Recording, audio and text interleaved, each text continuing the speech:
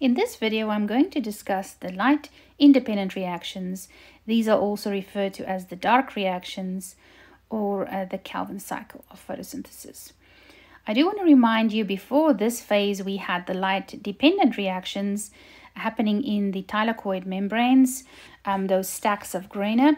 And during those uh, steps, oxygen was produced and that is leaving the uh, plant throughout, uh, out through its stomata. Um, and then we also had ATP and NADPH produced. These are going to go to the dark reactions to play a role there. So let's look at how the carbon dioxide is fixed here into the cycle. Uh, this is the first step that we're going to discuss, the carbon fixation step. We see that we need an um, enzyme here called Rubisco if this enzyme is not present, then uh, carbon dioxide cannot be fixed um, into um, the cycle. So if it's there, it will uh, fix the carbon dioxide to a molecule uh, called ribulose uh, 1,5 bisphosphate. Um, it is a 5 carbon molecule and uh, it has a phosphate group attached to each end of it therefore the name ribulose 1,5 bisphosphate. So that is step one, and it will form for us three unstable intermediates. Uh, these are uh, unstable because they have uh, two phosphates there attached to them. Uh, this is a six carbon molecule, of course, because one carbon went in with the RUBP, and now we have a six carbon molecule. And on each end, there is a phosphate group attached. So the following step uh, will be um, our PGAL synthesis. And PGAL synthesis is uh, uh, going to start off by forming for us here uh, some PGA molecules first. And then we're going to see the formation of uh, PGAL.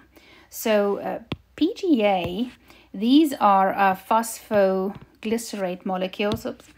Um, so the PGA uh, is phosphoglycerate.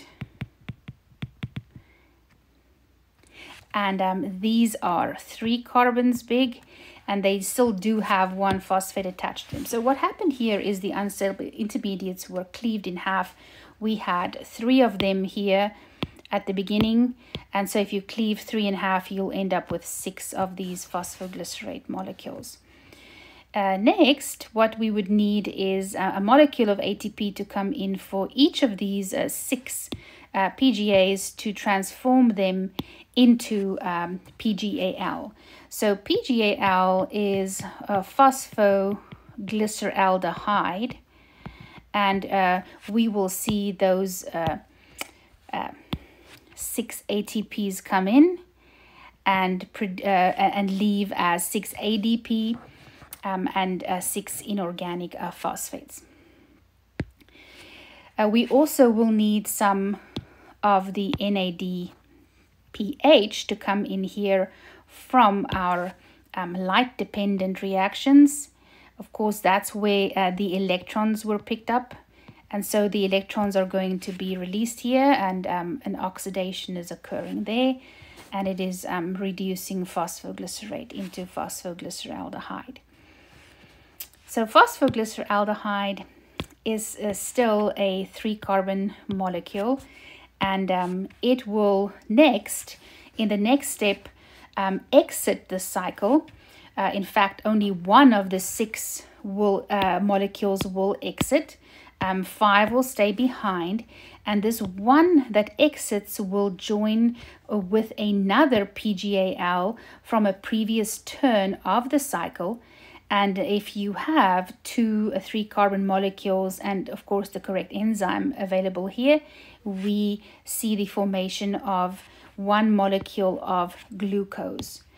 Uh, now glucose, um, our C6H12O6 molecule here can be uh, joined together. Um, if you add two of them together, you can form um, sucrose. And if you keep adding more and more together you can form starch and e eventually even some other organic compounds can form. And most of the energy will be stored in the form of starch in um, a plant. So this step three that we had here, um, our PGAL synthesis, um, is followed by a step here where the PGAL molecules are combined to form glucose, which is then used to form sucrose and eventually starch. Uh, this brings us back to what we um, had here happening, of course, was five PGAL molecules staying behind in the cycle, and those uh, uh, still are um, three carbons big each, and they will go through a series of reactions next um, here during a phase we refer to as regeneration of RUBP.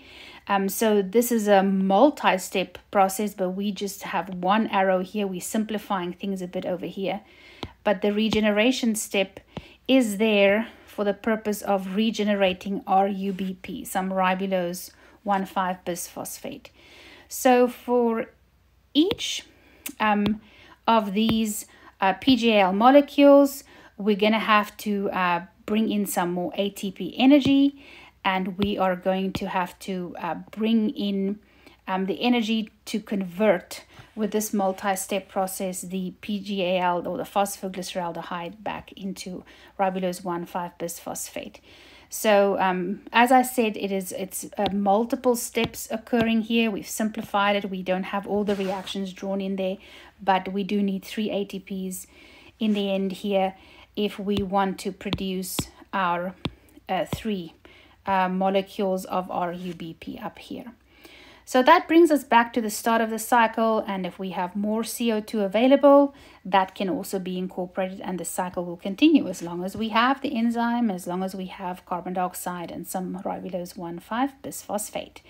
This happens in the stroma of the uh, chloroplast uh, and um, of course um, the light dependent reactions occurred in the grana where we have the thylakoid membranes.